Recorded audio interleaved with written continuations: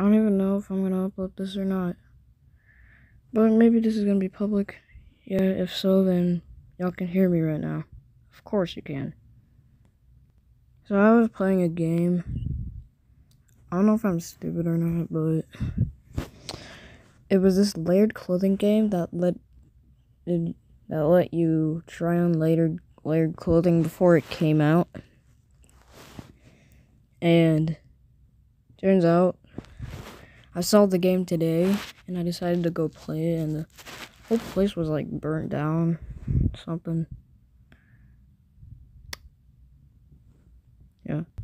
And I don't know if they too were hackers, but but if I'm gonna upload this, tell me if this is real or not so that I can know if I'm being dumb or not. Maybe I am being dumb because I'm here. Well, there was actually supposed to be an obby here. Right now, it was burnt down. But yeah, see a thing on fire. Yeah, I don't know if this random dude is trying to find me, but yeah, finally, what you probably want me to do, get out. Sorry for this, but yeah, I know you're trying to keep me safe. Maybe.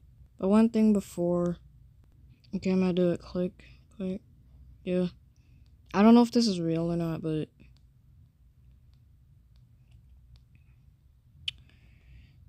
yeah, I'm gonna get the heck out. And those are the only two people here.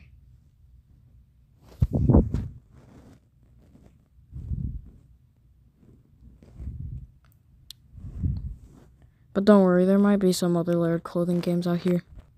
I really don't know if this is fake or not, still. But, I know I'm gonna be a little hypocrite though. Maybe if you're gonna join this game right now, just be careful, okay? Or if you know it's not real, you don't have to be careful. But I actually don't know.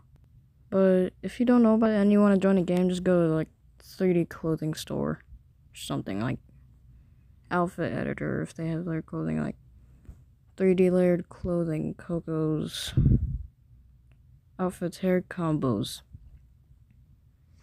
like those stuff.